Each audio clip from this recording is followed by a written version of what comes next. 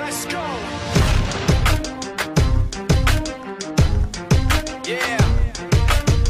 For those of you that want to know what we're all about, it's like this, y'all. Come this is 10% luck, 20% skill, 15% concentrated power of will, 5% pleasure, 50% pain, and 100% reason to remember the name. He doesn't need his name up in lights, he just wants to be heard, whether it's the beat or the mic. He feels so unlike everybody else alone. In spite of the fact that some people still think that they know, but no, he knows the code. It's not about the salary, it's all about reality and making some noise, making a story, making sure his click stays up. That means when he puts it down, Tox picking it up. Let's go. Who the hell is he He never really talks much, never concerned with status, but still even him starstruck. Humble through opportunities given despite the fact that many misjudge him because he makes a living from writing raps. Put it together himself, got a picture connects. Never asking for someone's help or to get some respect. He's only focused on what he wrote. His will is beyond reach, and now it all unfolds. The skill of an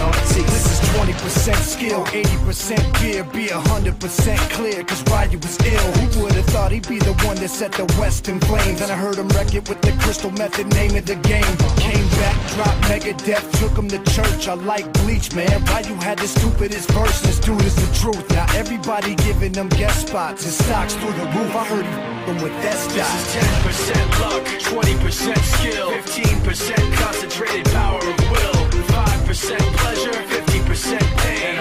100% reason to remember the name. They call him Ryu, he's sick and he's spitting fire and Mike got him out the dryer, he's hot. Found him in Fort Minor with top, but a nihilist porcupine. He's a he's a the type women wanna be within rappers. Hope he gets eight years in the making, patiently waiting to blow. Now the record with notice taking over the globe. He's got a partner in crime. This is equally dope. You won't believe the kind of that comes out of this kid's throat. top.